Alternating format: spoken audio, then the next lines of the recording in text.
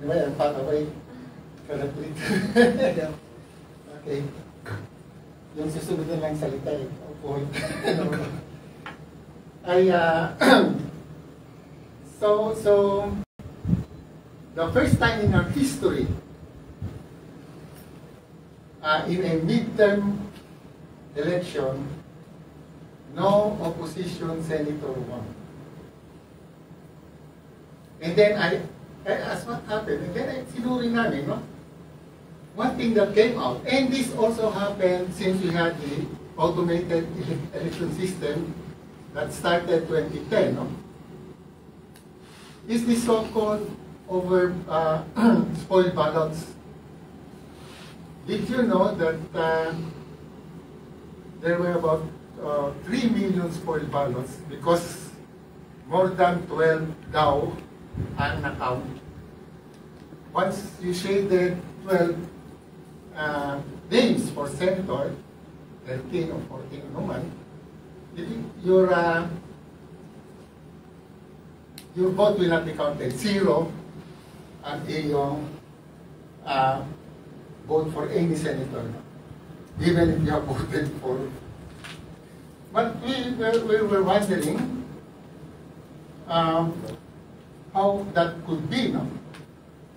In other words, ma, naman na you always check na talagang you will not shade more than 12.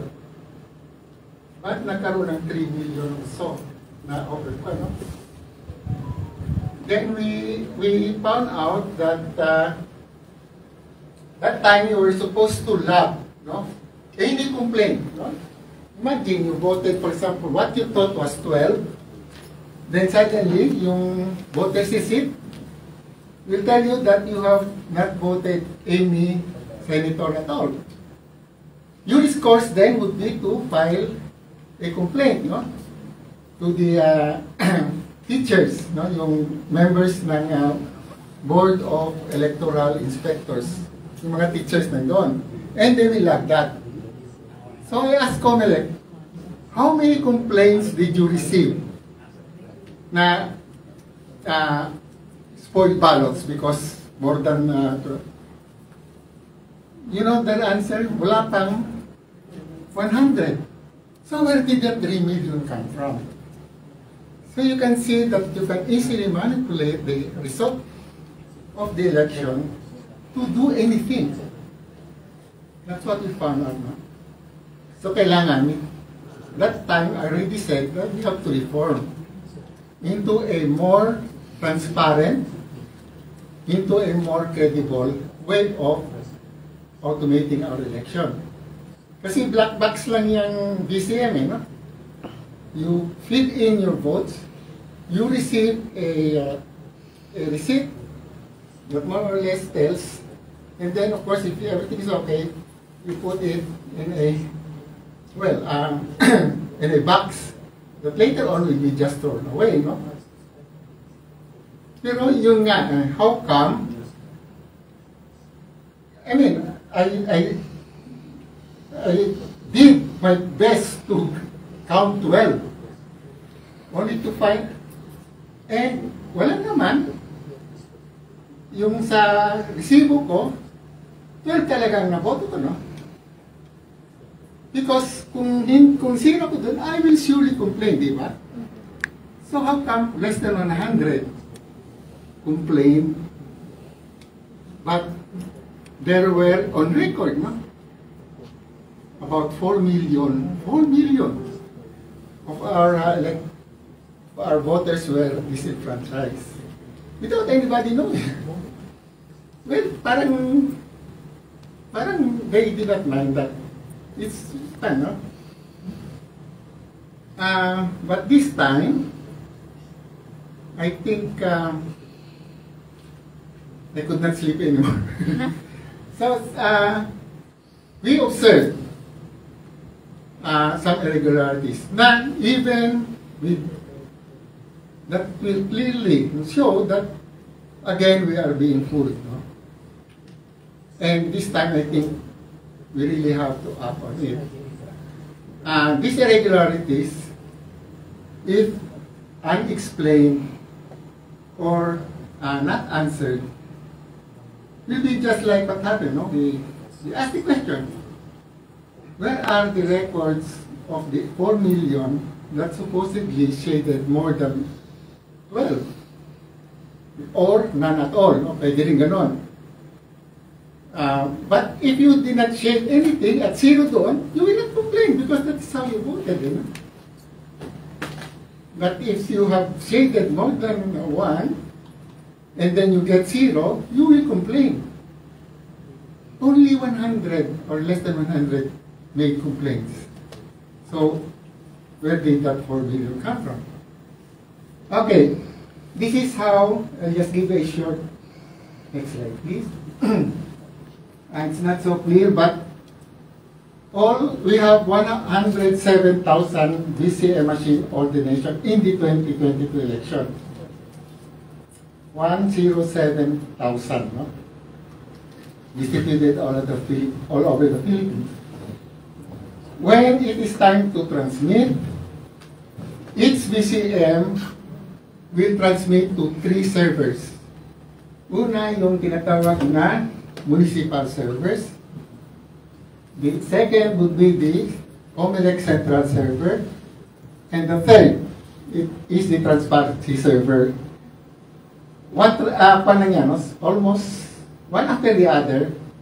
Alam niyo naman, para nag-text ka three times sa cellphone mo uh, to three different persons. Yung sa transparency server, yan ang pinapakita sa publiko. So that's where we got uh, the result of the election. Uh, they started uh, coming up or show the public. The first is the first uh, update was, uh, if I'm not mistaken, 717.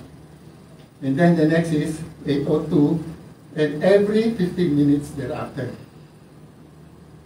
Okay, next slide please.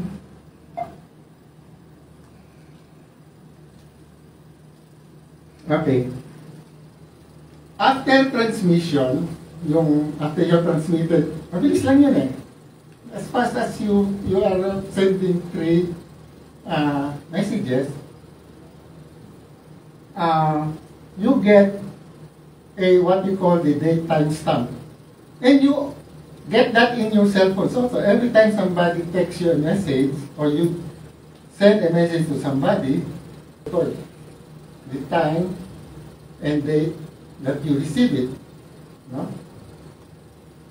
Nasa atin yan lahat. And this record is of course um, in the data center of the telcos. I used to be also the uh, chairman of the National Telecommunication Commission way back in 2001 to from from the their subscribers. We simply take note of the secret. Hindi rin makahuli pag talagang gumawa ng tawag, voice call or SMS or email, may record yon. Because you are going to be uh, uh, billed, no? Per your use. Kailan send, and then the your email is sent to three recipient. That is how, how fast it is. Next slide, please. Okay, so, ito hindi alam masyado ng public, no? Before any precinct transmit the uh, there is a general instructions from COMELEC that has to be that uh, operated by the teachers, no? The uh, but not all of precinct close because pag mayroon ka mga tao na nakapila within uh, maybe about uh, uh, 50 meters away from the precinct, you have to to allow them to go in and vote. Pero sabi nila, okay, pinto na sa iyo ha, wala nang can close. The uh, teacher, the uh, chairman of the board will say, okay, well, uh, wala na nagboboto, we will close the VCM. And they close it, even if you feed a, a ballot, will not count anymore. So, so, let us assume that for, for the sake of uh, visualizing this irregularity, let us assume and then they have to leave the VCM. Remember when you were voting, that VCM was on top of that is actually a ballot box. So that when you feed in your ballot, it will slide down to that ballot box. So they have to uh, remove the VCM from that uh, ballot box. Sorry. They have to do that in front of all the poll watchers na. And then, yung VCM, then they have to configure it to printing mode. Okay, so that's number three. Then they are required to print eight copies of the election results. no? Now, how, what that, or how does this uh, ERs look like? Remember yung uh, VPAT, yung voters receipt nyo? There's only one name for president, the, the one you voted, one for vice, uh, 12 for senators, and one party list. And then, uh, congressman, yung local government, yung local uh, positions na about the same number as the national position, no? Congressman, governors, mayors, councilors. Okay? So, how, how long they will it take you to print yung yung panyo about this long? If you have time, it will take about 4 seconds. Isa yung printer eh, tayo mag-printer, hindi naman mabilis eh. Yung, yung ginagamit sa, sa mga department store, no? So that long will take about 1,001, 1,002, 1,003, 1,004. Then somebody will cut it. but that's only for one president, one name, and one vice president. Well, in the ER, election return, you have to print there 10 names of presidents and their score, uh, nine names of vice president and their score, 164 names of senators and how much they got in that precinct, no? And then 177 names of party lists and how much they got in the precinct. And then after that, yung local positions, about the same number. We did a time emotion study and that takes around, uh, to print, about uh, more than five minutes. Uh, Therefore, to print uh, copies, well, uh, mga 40 minutes na yan, but this, it can still be possible that it can be about 30 minutes. no? Kasi hindi naman lahat-lahat karami ang mga kandidato sa precinct. No? There are precinct that, that has less uh, local government position. Pero yun, averages na mga... So the early, ito, no? Then, af- after printing the eight, it's the three members of the board will sign and then distribute it to the poll watchers. And one, they fold, put it in the envelope, and this goes to Congress. And then, of course, they ask, o wala na reklamo? And that is the only time they will press transmit. So what time would be the earliest? All precinct, for example, close exactly at 7. What time would be the earliest time that the first transmission will occur on May 9? Around 7.30. Sometimes it is one. We have, sino, sino rito naging poll watcher? Wala. But uh, if you ask any poll watcher, it will take some say, will say, oh, it took us one hour to have this printed. May, may, may malfunction, they have to change the ribbon, kasi mahaba yan. They have to change. You have to change uh, the roll, no? For printing. So remember that, let's say 7.30, and that's the earliest, no? Uh, the, just remember the time. Uh, this, no? So next slide, please. So, tayo, 7.17, may nakuha na tayong, I don't know if you can see this, but anyway, uh, you can enlarge it, yung, yung total. The first total is uh, 1,552. Saan galing yan, number? Kung wala ka nakapag-transmit. No? Well, siguro, sabihin nila, yung mga overseas, no? Yung nag, ah, nag-vote ahead, yung mga absentee voters, no? But, bawal yun eh. I mean, every time that you put something in the transparency server, you know, you cannot, it has to pass through ABCM.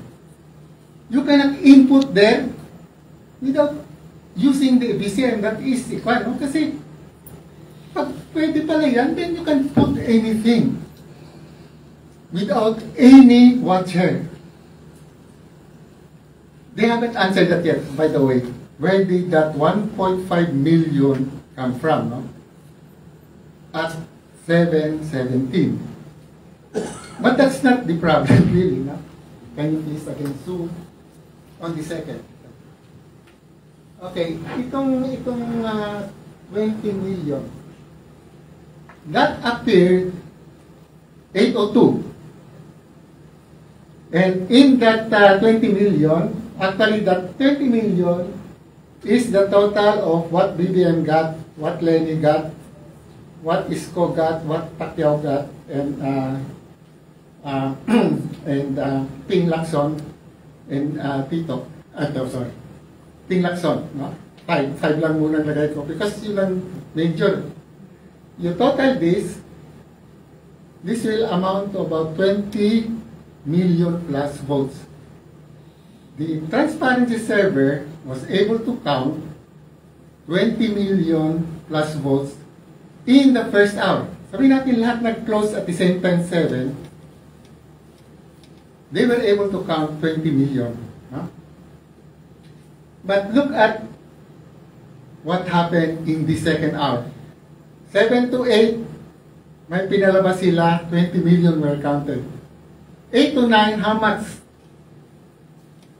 These are data from the transparent server that they uh, gave the public, no? Na nakapost sa TV natin, that was in, in the uh, uh, in the newspaper the next day. No? So hindi nila ito matanggi. How much did we get? On the next hour, only 13.2 million.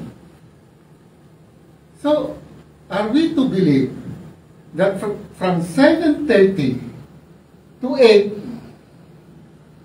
the transparency server was able to count 20 million, and the next hour, na wala nang ah, dapat tapos na yung mga printing and other administrative matters, was only able to count uh, 30 million. No? If the same rate of uh, counting was done, 20 million, they should get at least more than uh, mga 40 million, di ba? 30, 30 minutes, 20 million. And then on the 60 minutes later, they should be getting no, simple mathematics. Even if, for example, they get, it should be more than, at least more than 20 million. So these are the questions we are asking them. How come, bigla ba, well, I, maybe their answer will be, well, in the first hour, mabilis yung internet connectivity sa buong Pilipinas. Then how come that did not happen in the second hour? So may, may nag, pag big, bigla bumagsak yung ating internet connectivity. And they, we can easily ask the telcos if that is the case. But since I was with NTC, and I have friends in the telco industry, they, they confided to me, Sir, there was very little transmission between 7 and 8. So where did that 20 million come from? Yun lang. And the rest, no?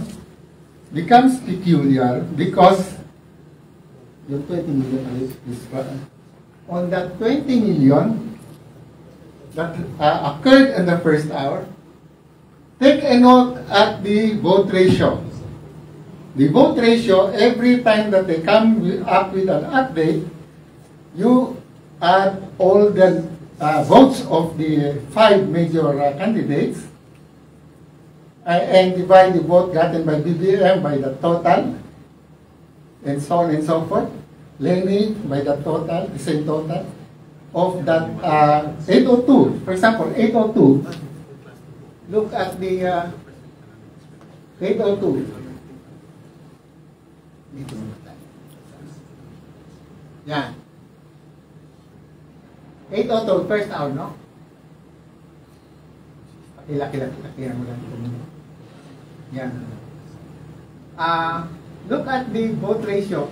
60, 60, 60, 60, 60, 60, 60. Up to the last hour of counting, which is four days later, May 13.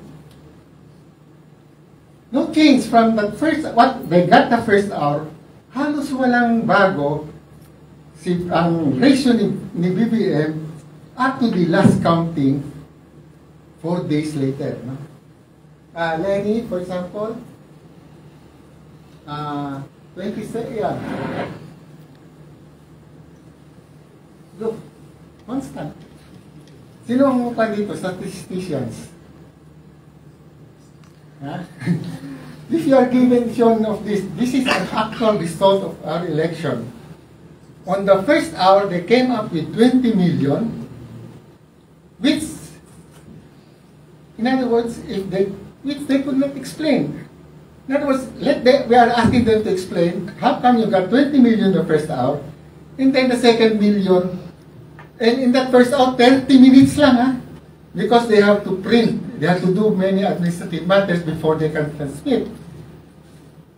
So in the first hour, ang effective time of transmission is only 30 minutes. On the second hour, wala nang gano'ng administrative matters. So the full 60 minutes will all be uh, transmission. In other words, logically, there should be more machines that are ready to transmit in the second hour than in the first hour because of that uh, requirement to print. Di ba? Yes, logic. Mathematics. So how come 20 million on first hour, only 30 million? If we are going to follow the speed of transmission on the first hour, we should be getting at least around 40 million. And sa counting naman, actually, ah parang bell curve yan eh. No? The uh, telcos say that their uh, network peaked at around 1 a.m. No, it never peaked on the first hour. No? And this is the first time, in fact, in, I think, the world history, where the counting peaked after the first hour. In other words, the number of votes counted maximum came after the first hour. No? and after that uh, first hour result, you get a constant vote ratio up to the last day of counting, four days later. Walang bago. I can leave a copy of this uh, for for anybody who is interested to get uh, a, a, a, bigger copy. No? So next slide, please. Ah, any, uh, so far, any questions so far? Okay. Next slide, please.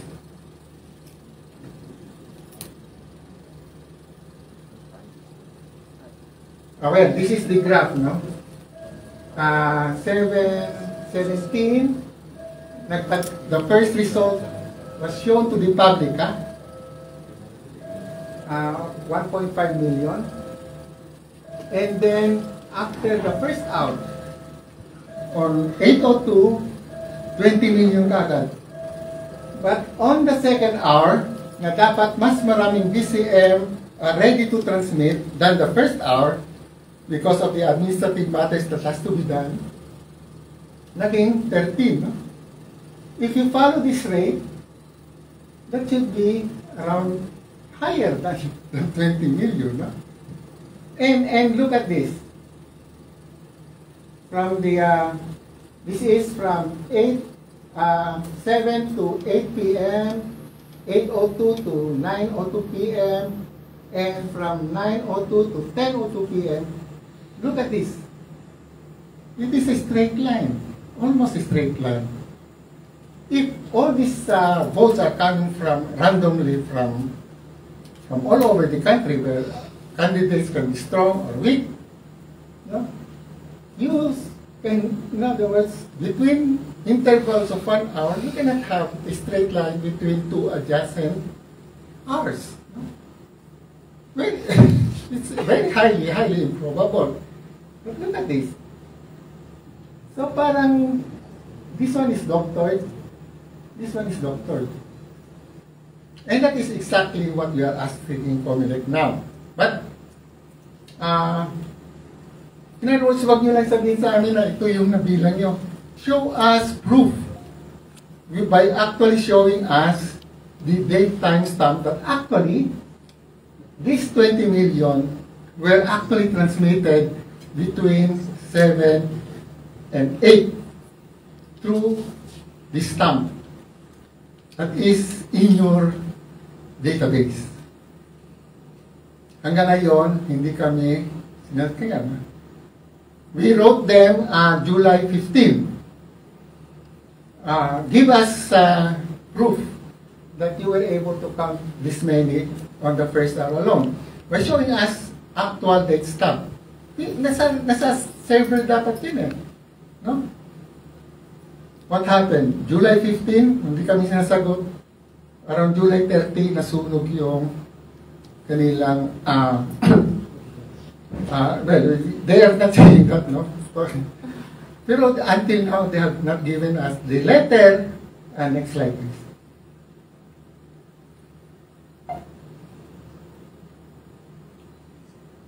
Well, told said this already. It's the first time in our Philippine history that the uh, number of votes, the, the most number of votes were counted in the first hour. And then, bumagsak na, no? That, that never happened, even in most advanced country. The first hour result, and then after that first hour, nandun na yung, tapos na yung boxing actually, eh, after the first hour. 60% si BBM, 27% si Lenny, so on and so forth. Uh, si Isko nga, eh, constant uh, fight, and si Ping, from, from, um, from the first hour to the last hour of counting, four days later, hindi nagbago yung constant ratio nila. No? So, so, very critical yung malaman natin kung saan nanggaling yung 20 million na yon. Uh, and again, I said we wrote them on July 15 pa, no? Uh, the next slide, please. Okay, we, we wrote them, uh, and they received this uh, July 15, no? Uh, we wrote them, asking them for the record the date time stamp of the record to show, to prove that there were actually 20 million votes that were transmitted. And that is in their, in the records, that is in their database. No? Hindi nila masabi na wala. You know what? And before we got the answer, July 15 to, no? July 30, nasunog yung kanilang data, data, um, yung data bank nila. But they say that nothing was uh, mas uh, destroyed, no? But kung ganyan, bakit tayo nila pakita? Just, just easily say na, even sworn statement, that the 20 million is uh, covered by enough uh, time, daytime stamp uh, transmission report to show that there were actually 20 million votes counted from 7 to 8.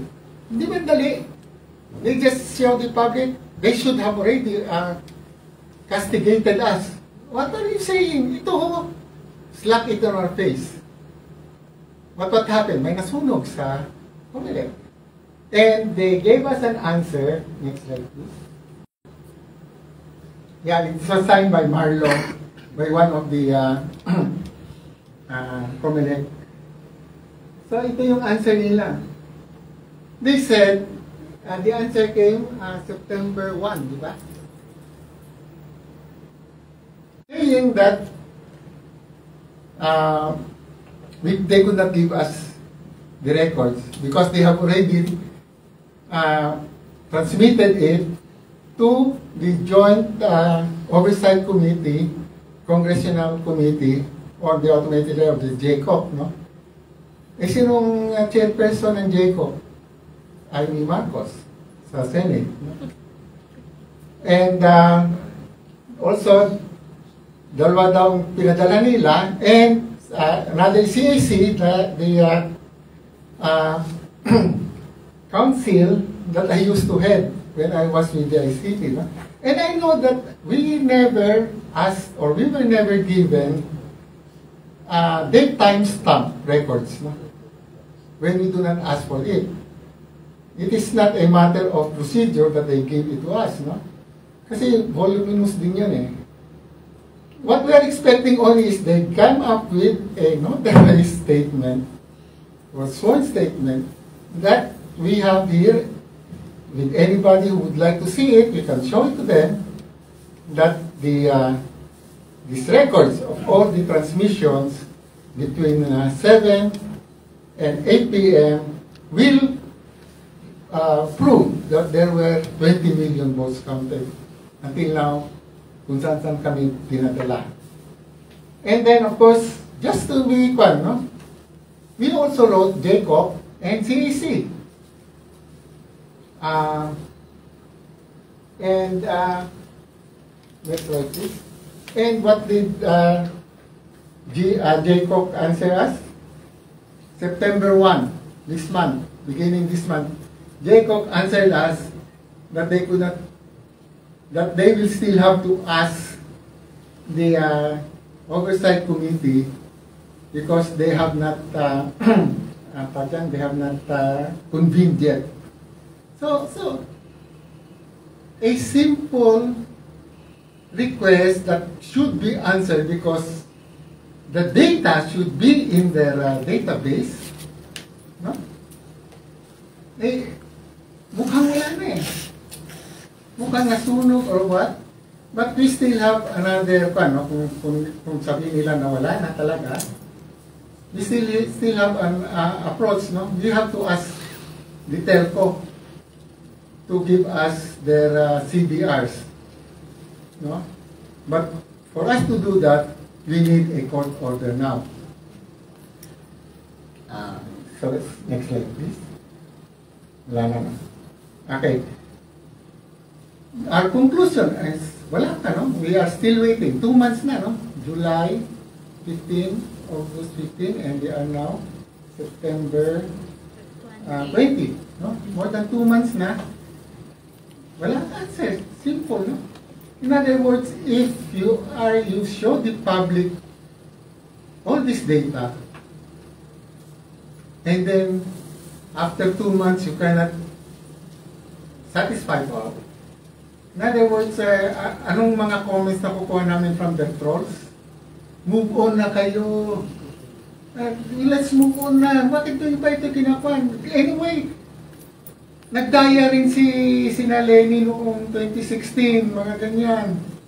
Those are what they are answering us. It is not what we want. We want a clean and honest election that is transparent. Because we will go on like this. Ano ngayon ginagawa nila? Uh, I will, well, uh, maybe I don't have to show this again. It's quite long, you know. If you remember, 2016, nung natalo si BBM, he went public. What did he say? And, and I will just uh, uh, give a copy of that uh, pen here, and you can you can watch it. No, what he said. Smartmatic, 2016 to, no? Smartmatic is a cheating system available for the highest bidder. So kung sino manalo, sila ang nagkabigay ng pera sa Smartmatic. Pero ngayon, using, walang panibago, using Smartmatic system, siya nanalo. So, using his own words, siya ba ang nagbigay ng highest bid? That, that one is clearly shown here, no? and uh, you can ask uh, our good friend here for a copy. No? Okay. So, so that is why ang problem is they hold all branches of our government. No? What are they doing now? Is this, is what they are doing now uh, the result of a majority of our people voting them? This is the highest uh, uh, majority no, that a president has won. Pero what are they doing? They showed made in Malacanang. They put, they gave themselves uh, uh, confidential funds na wala pa tayo noon. In spite of the fact that we have the biggest uh, debt, no? So many trillions of pesos debt that even uh, apo ng apo natin will be paying. Yun ang kanilang kina... Eh, well, that is the priority. No? These are not signs of uh, people that has gratitude to the, for the people giving them the highest vote. And where are those 31 million? No? They could not even produce them. So clearly, if they do not answer this, and, and ito pang pakasaklap, the present commissioner, chair of COMELEC, who used to be the, uh, the elect, Lawyer. lawyer, electoral lawyer of BBM in 2016, he was also one of those said that Smartmatic is a cheating system. Ano sinasabi niya ngayon? That we need to have uh, 90 billion pesos to buy more Smartmatic machines to be used in the 2025. Because, and then of course in the 2020 uh, e- election, is that the only way that they can win? And if we do not stop this right now and then, this will be what will be happening to our election. If, so ito nga ang pa namin na uh, I am 78 years old. No? Um, uh, I was one of those who fought uh, and, Brad Edwin uh, the Marcoses in uh, the first EDSA revolution, no? we were inside that time uh, camp, no? And you people, ang nag-protect talaga sa amin noon. We were young then, and then that was our contribution. But somehow, bumabalik eh. And uh, we don't have now the time to, to push through that. So that's why we are telling you this, because it will be your children and who will suffer if we do not stop this now. No? It's just questioning. Show us the proof that they're working. If they cannot show it, then they have nothing to show.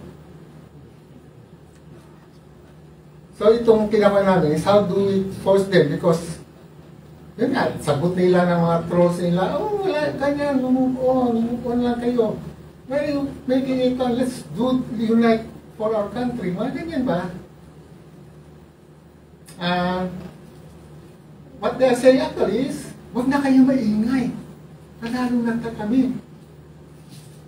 And how did they win? Will it be good for our country? When in fact, wala pa 100 days, eh, nakikita na natin na iba na ang palakad. No? Uh, are they yung education ninyo? No? Um, lalo na UP. Kinaltasan nila ang ang educate ang mga uh, state universities. Ang health natin, pinaltasan nila. And what did they increase? Confidential funds for themselves. So, so yun. Uh, in order for them to be pressured to to uh, give, eh, kasi kung kami lang, yun, yun ang sinasagot. They are uh, using their trolls against us, no? But if the people themselves will uh, show na we need answers to explain, yun lang naman hingin natin eh. And if they cannot, then, you know, let them explain.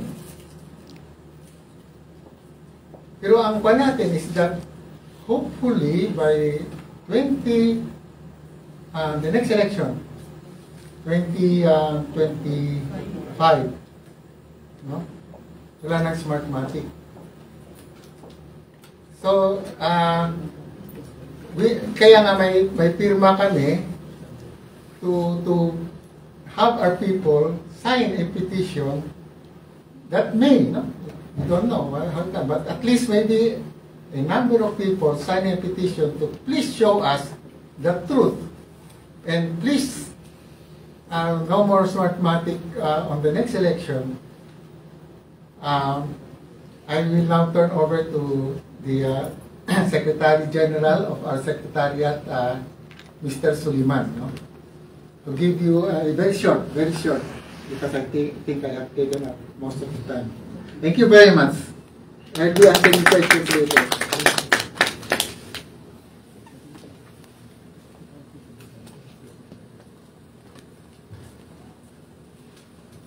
Maraming salamat. So, maganda yung uh, paliwanag sa atin ni Sir Eli.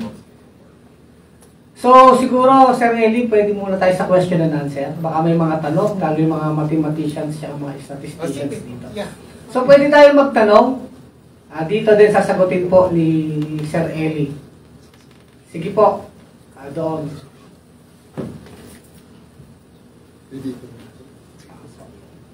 Bago po tayo magpaliwanag tungkol kung paano magpapapirma. Pwede, Pwede rin tayong na- magtanong. Hello, hello. Pwede rin akong kumanta. So, yung tanong, tungkol, lalo yung mga statisticians, mas alam nyo ito, yung mga law of large numbers, and yung mga naririnig ko, no? Kung possible ba na cons- constant yung mga ratios, di ba? Very very fast nga pala sila to explain yung constant ratio.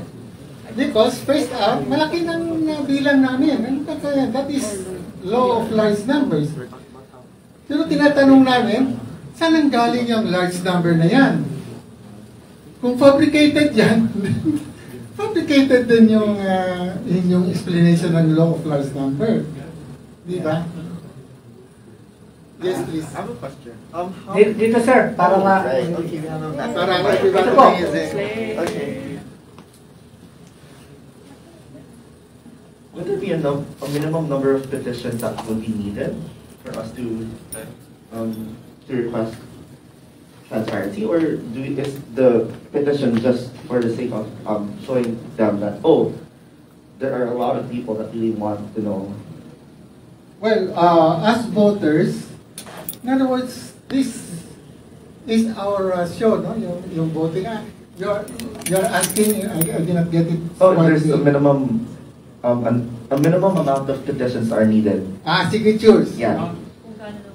kailangan natin. Yeah. Uh, we have in our constitution, I Ah, wala think- pa hagad sir. Ah, Sa bilang ng pirma, wala naman tayong, wala namang sinasabi yung ating konstitusyon o yung mga batas.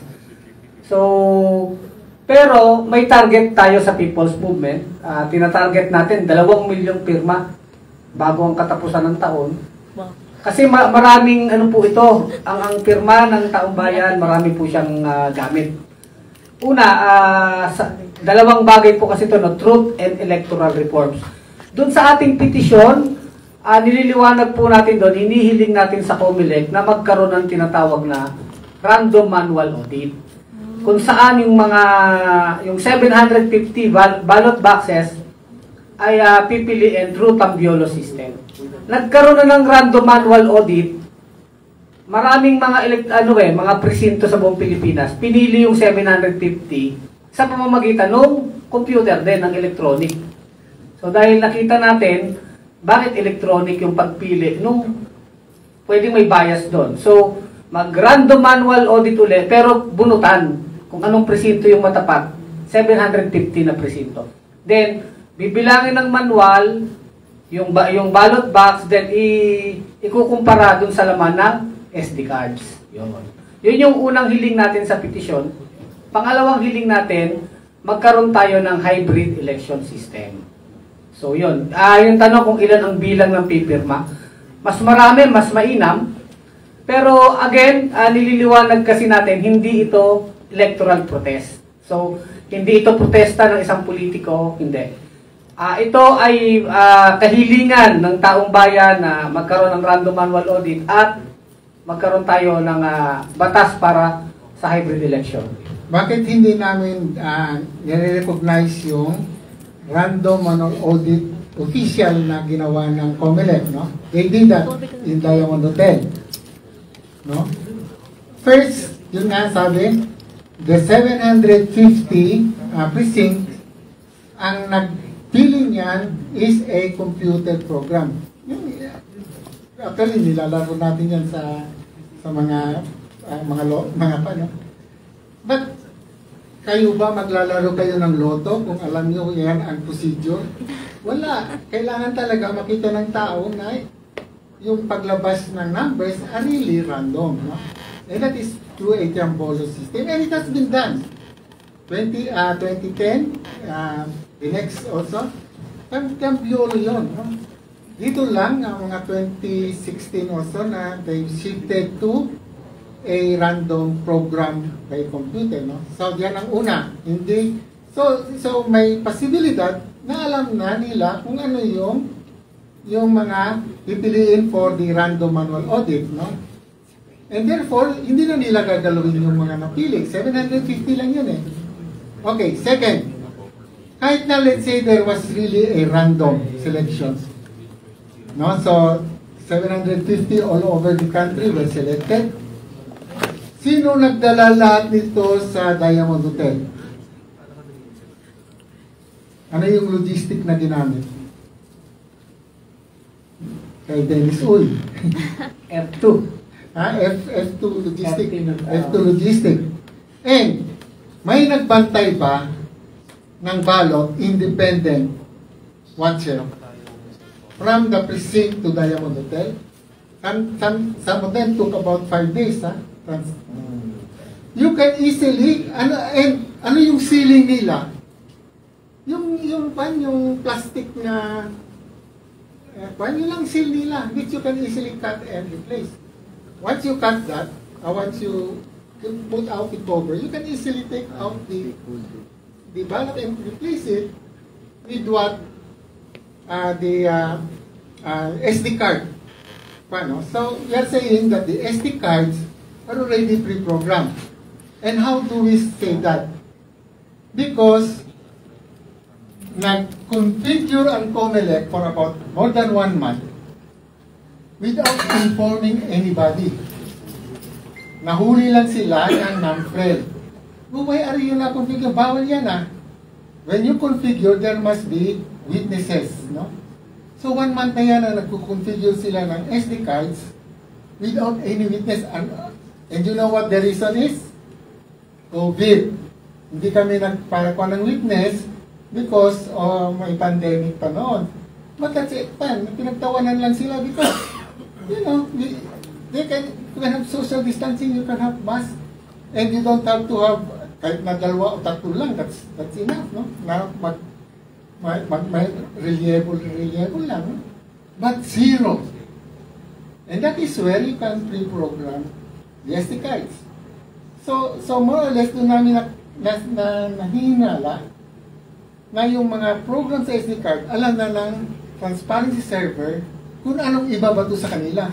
Kaya hindi pa nagtatransmit to, mayroon na silang result for that particular precinct. Because they will the one who knows. So ito, SD card nito, this will go to precinct number so and so. Ah, ito yung magiging resulta niya. So, And the only way to check that is yung talagang randomly, then bilangin yung ballot and compare it to the result that the SD card transmitted, no? But yun nga eh, hindi tayo, di, hindi na tayo sigurado sa integrity ng ballot na yan. So we are, so yun. These are things that happened this election that is against the law. Yung, yung nag-print sila ng ballot and uh, configured SD cards, 107,000 of them, without any witness is against the law. Pero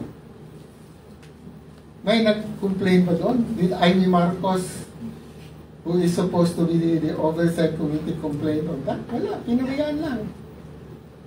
Kontento na sila sa explanation na because of COVID.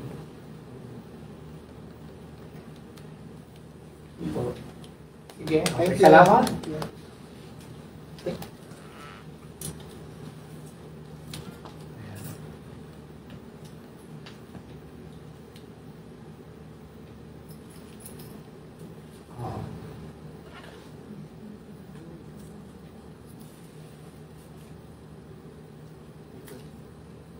Okay.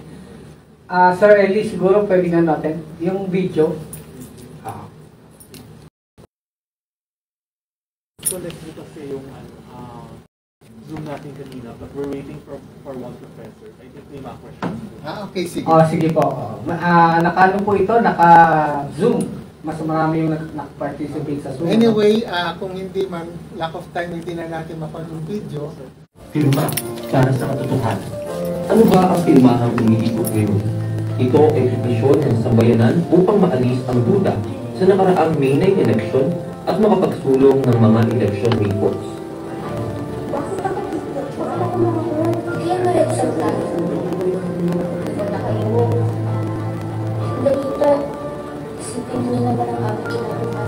Tama, dapat alamin ang katotohanan. Huwag tayong magbulag-bulagan. Yung tatlong information technology experts kilala bilang PNP na sila DICT, OIC Eliseo Dio Jr., Augusto Lagman, dating NAMFRAN chairman, at si Franklin Isaac, dating president ng finance. Na kung may question sa resulta ng katatapos ng halalan noong Mayo 9 at sinuportahan sila ng abogado, negosyante at gabber na si Atty. Ricky Tongtoro, also known as Ed Joel. Base ito sa kaduda-dudang bilis ng resulta ng eleksyon, maraming counting machines ang nasira at consistent pattern ng lamang ng mga boto. Patuloy na lumalawak ang pirma para sa katotohanan. Iba't ibang nagsamahan at individual ang sumama sa kanto.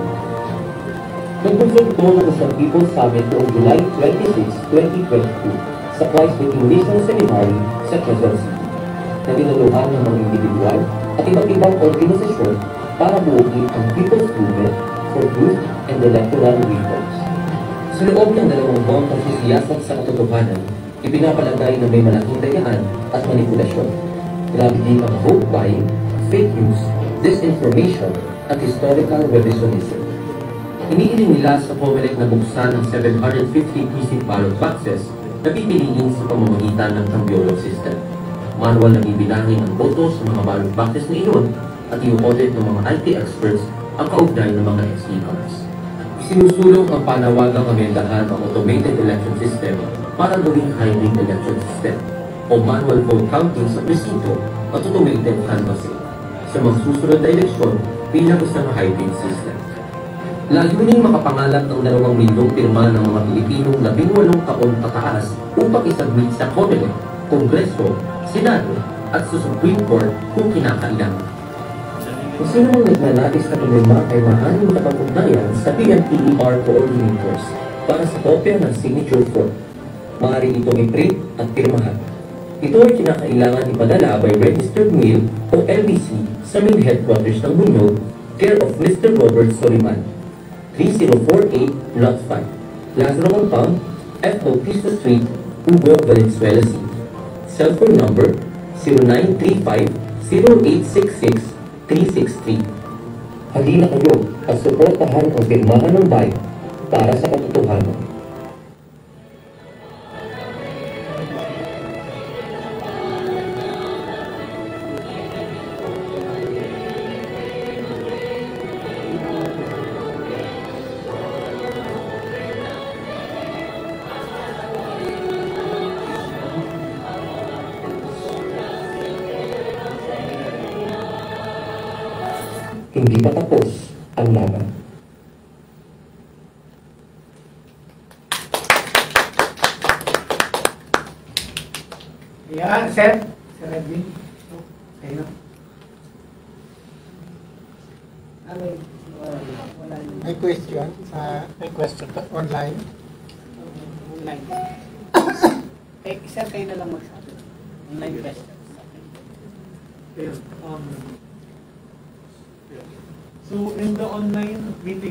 Have uh, Sir William Yu with us right now. Um, uh, earlier before we had ano rin po, um, Attorney Ona from LED, the network for for elections, and here with us in the room right now is Sir William. He's um, VP for technology, I think, and also um, this department. So one of the technical persons that we invited today um, for to ask Sige, so, so, reaction uh, on the speaker. So, I've known uh, Jen Murillo for a while and we work, we work together in the CAC. Uh, just na, uh, just address to General Rio na rin is, uh, the, the data that we provide, uh, the data that we got as part of the transparency server which we get during uh, election night and actually uh, succeeding days after the election in up to, you know, 15, 10 minute intervals, that data set actually has the timestamp, right? So we have shared the data with a number of researchers from multiple institutions, including ourselves, for example, at Ateneo, from, from NASAL, from FEU, from ACME, and I believe from UST as well. So the data itself, meron po siyang timestamp down to the minute level. So as you will see in that, um, the, the data set that was already provided as part of the transparency server data, you can actually do an, uh, an analysis if you like on a per minute level instead of uh, looking at it on the per dump. So the analysis that was pro- provided here is the one that comes out in the media, right? So the, the data in which we, uh, the data in which the, uh, the data that is published as part of the transparency server is given in intervals. They're not, you know, on a per minute basis hindi naman, uh, hindi naman siya real time yung pag-display. However, the data set that was provided does actually have a more detailed uh, view. So this, this uh, analysis can be done. So that's one source of, of data. We have the data um, the, uh, NAMFED will have the data as well, and other groups, uh, election watchdogs and political parties will have the data as well. So that's one place where the data can be obtained. The second place where the data can be obtained is the Comelec Central Server. So this is the public uh, results website.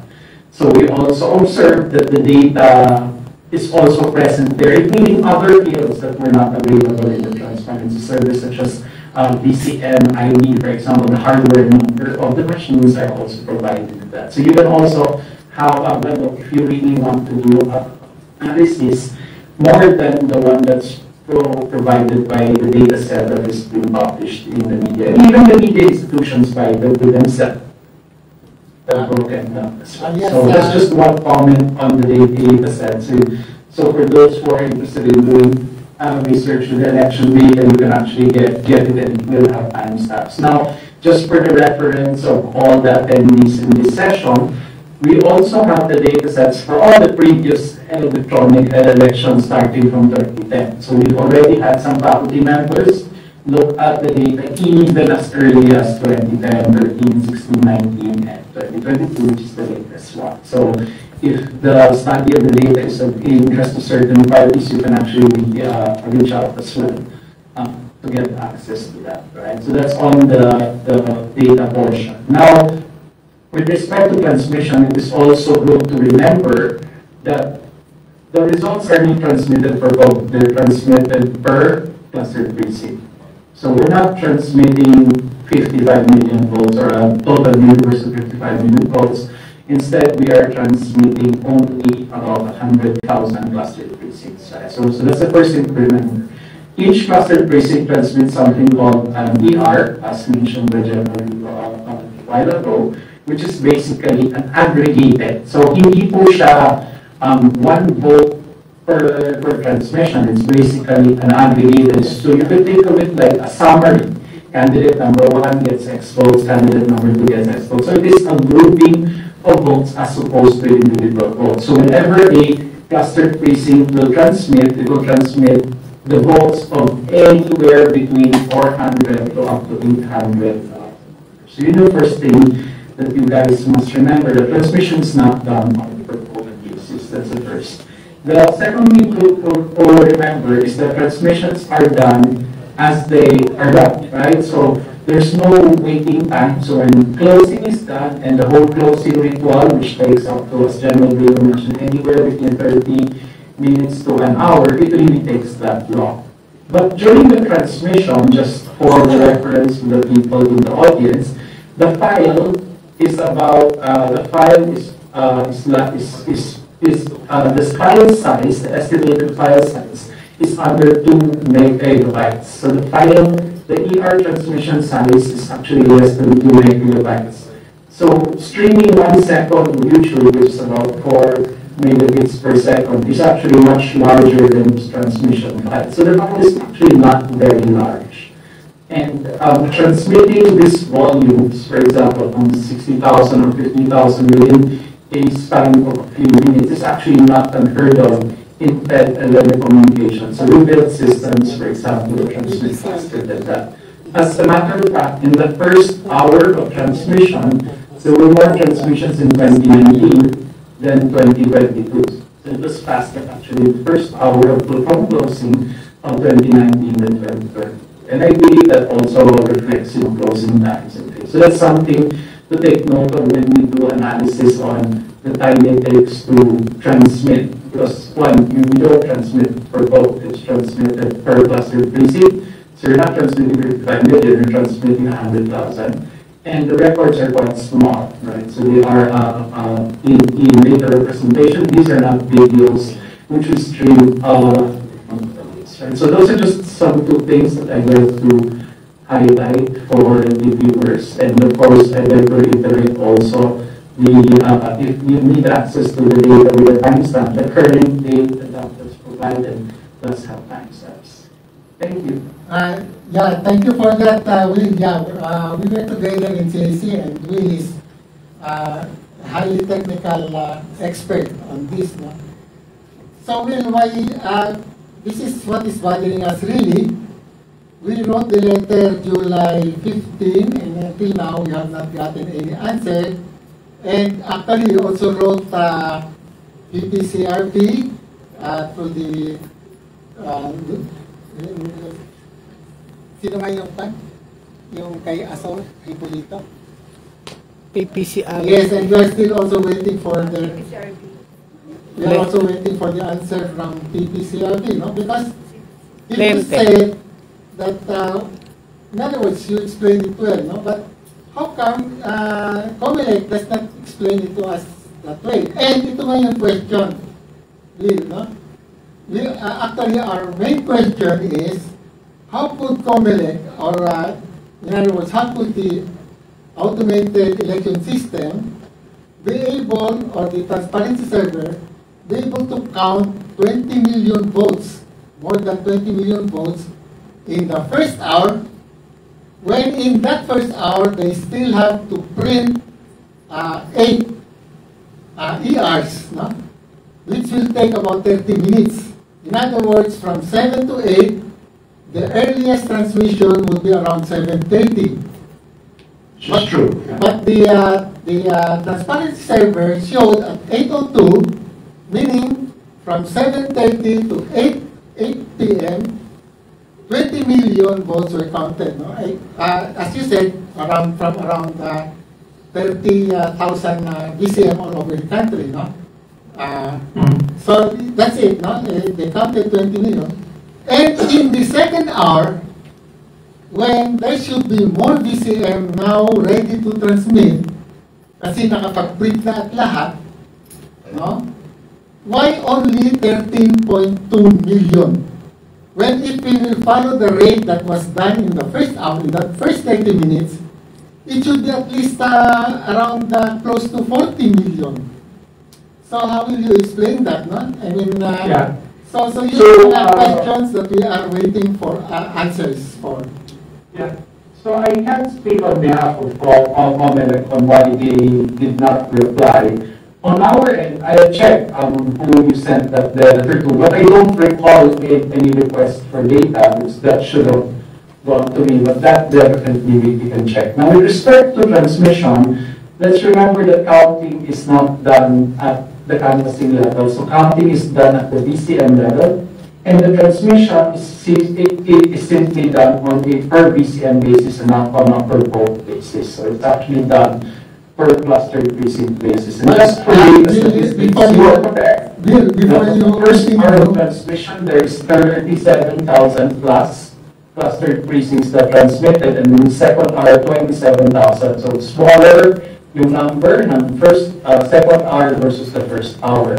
But just to note that in twenty nineteen, we have forty-six thousand clustered precincts, way more than the, than the first of twenty nineteen compared to the thirteen thousand in the second. Um, Now, why is this possible? It's because closing times in twenty twenty-two are also limited. So we closed elections in 2022 relative to 2019 on a later time, right? So the closing time was different. And therefore, there were probably a lot of precincts that were already ready to close, but couldn't close because they could not legally close until the official closing time. I mean, that's just based, based on what we observed on the field. But yes, I mean, you, uh, you, you should get an official answer from COMELEC here, but that's just a quick observ- uh, observation on our part. Yeah, thank you for that, uh, Lil. Uh, yes, yun lang, yun na ang natin. Because uh, even if you, it's not a matter of speed of transmission anymore, no? It is the time and that you can transmit in the first hour because you have so many administrative matters to do, especially the printing, no? Some, some of the printing actually took more than an hour, no? You can check your record. So we need, uh, we are really asking for the daytime stamp to show that really there are more VCM no, of cluster precinct that were able to transmit uh, in the first hour than in the second hour, which is quite uh, improbable. No? We have here, uh, in other words, that has to be shown, that has to be proven. You're not saying it cannot be done or it did not happen. But we need the proof. It's not just uh, saying that, oh, in 2019 it was like this. We need the proof because this is specifically first hour of May 9, 7 to 8 p.m. compared to uh, the second hour, 8 to 9 p.m. That's all, only that. Why is it that in spite of the fact that in the first hour, 30 minutes or even more than 30 minutes has to be spent in printing before they can transmit, how come 20 million were counted by the DCM and in the second hour, when, as you, as you said, there, are, there should be more DCM ready to transmit because uh, printing has been done in the first hour, why only 13.2 million? So that's it. I Yeah. just need a Yeah, official I, answer. I, uh, well, it can, it can, it can be explained, and, uh, there are many reasons for that, and, yeah, I mean, if you'd like to get the specifics, you can also have a look at the transmission timestamps that were provided, uh, that are part of the transparency server logs, uh, no, no, no, the transparency server data set, right? It's on a per minute basis, so you can see the breakdown, but just to know, that it doesn't really matter whether first hour was only 30 minutes or first hour was only two hours. It takes less than five minutes to transmit. Yeah, I know, So I know. even if only 30 minutes is available Bill, first uh, just to be in the same frequency, no? We're not talking about speed of transmission. I am talking about the uh, time before transmission that uh, there is supposed to be, uh, in the general instruction of COMELEC, administrative matters that have to be done before transmission. Okay, pag nag-transmit lahat yan, okay na. Pero it takes the administrative matter that has nothing to do with transmission at all. Forget about transmission. You have only 10, less than uh, 30 minutes to transmit in the first hour. That's all. And in the second hour, you have the whole 60 minutes to transmit. Question is, there should be more VCM more votes should have been counted in the second hour than in the first hour. That's all. Simple logic. Um, Sir Rio and also Sir William, siguro for that, um, from uh, Sanggunias and because we also had a few professors from the math department and um, from the this department that went ahead because they have a class right now. But, um, maybe what we can suggest is that um, earlier we've also talked with Attorney Ona of Lente. Maybe Yes. one um, possible solution we have we, we have to these questions is maybe to set up another meeting, maybe online na lang po, so it's easier for everyone. Then um, at least for Yeah, I Lente. think people, yeah, I think the body has access to the data, for example, to look at uh, per, per minute, for example, that is, uh, uh, available. So I'm just stating a fact, right, that some people think that the transparency server results file is just the results. It actually does include a timestamp of when a particular cluster is transmitted, so it's included in file. So that's also something that could be studied.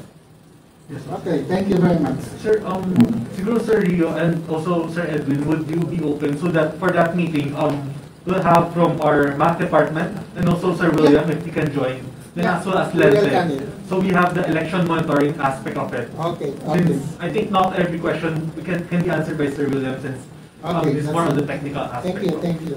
Yep. Sige po, sir. Um, I Thank you. guess, um, we'll set up a meeting, maybe we'll keep everyone in touch. Me, I'm not sure if it's this week or next week but Um, we'll have to check with the, the, uh, schedules of our professors. But, I guess, um, wala si TJ, si Daniel, okay. I guess for that, um, does Sir William have anything more to add or anyone in the room?